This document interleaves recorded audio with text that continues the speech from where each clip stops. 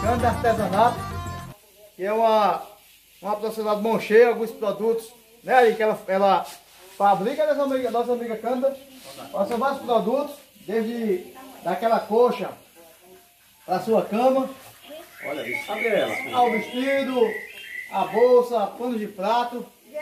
Parabéns, é claro dizer que isso você encontra aqui em Pilões, ó, aqui em Poço Escuro, já no finalzinho de Poço Escuro, nossa amiga Cândida. Mostra aqui pra gente, ó, ó, ó, isso aqui é o quê? Isso aqui é do liquidificador? Não, isso é uma blusinha, Ah, aí. uma, uma blusinha. Lacinho de cabelo. Aí as peças você faz por encomenda, faz para vender, É, nós faz por encomenda, faz para vender.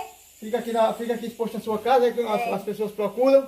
É, aí nós estamos, eu e minha cunhada, a gente estamos procurando uma pessoa assim que divulgue Pra dar uma oportunidade, pra- né? É, para dar continuidade. Então, amigos, a gente veio aqui com a Iosmar para dizer à nossa amiga Cândida que os seus produtos serão mostrados ao nosso secretário Jaime Neto, ele que é secretário de turismo, para que Jaime possa entrar em parceria com a nossa amiga Cândida e possa estar levando seus produtos, né? Já que Jaime tem tido um, um trabalho muito bom à frente do turismo de Pilões, principalmente na geração de emprego e renda. Então são muitos produtos que ela faz, que ela fabrica, e é muito gratificante a gente poder dizer que isso aqui é na zona rural de Pilões, né, Ali?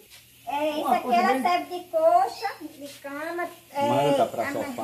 Manta para sofá e tapete pro chão também. É. É, essa pra Geralmente você leva quanto tempo para fabricar uma dessa aqui? Desse tamanho. Umas duas semanas, três.